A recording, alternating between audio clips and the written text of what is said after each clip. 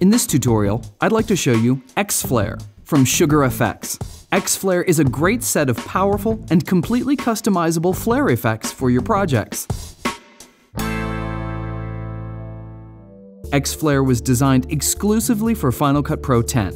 You can find it in the effects browser under Sugar FX X-Flare.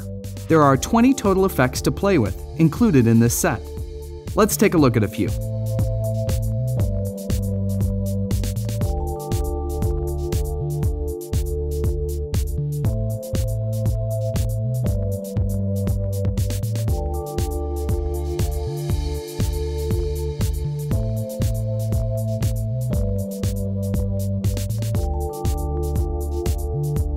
For this example, I'm going to use Bokeh Party.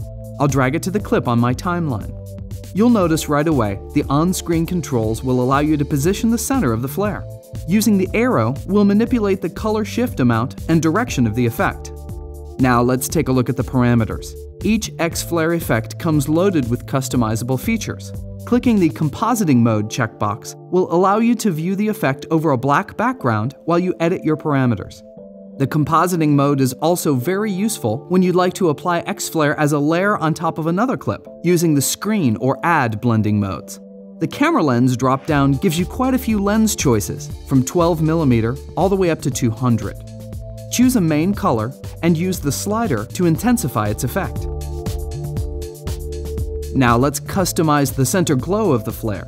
Apply a color to your glow and choose a style from the many options. You can then adjust the glow proportion, size, intensity, and fall off easily with the sliders. You can even adjust the parameters for the ring around the glow, changing its color, radius, and thickness. Now, onto the flares. Customize the flare amount using the slider control. Using the Flare A and B dropdowns, choose from over 30 styles of flares to play with, or you can even use the image well to add your own. Adjust the size in out, and randomize size with the slider controls. Customize the color of the flares, and click Generate to create a random pattern. Finally, you can soften the flares and amp up the intensity of the bokeh effect. Now our customized flare effect is ready to use as an overlay, a keyframed animation, or transition.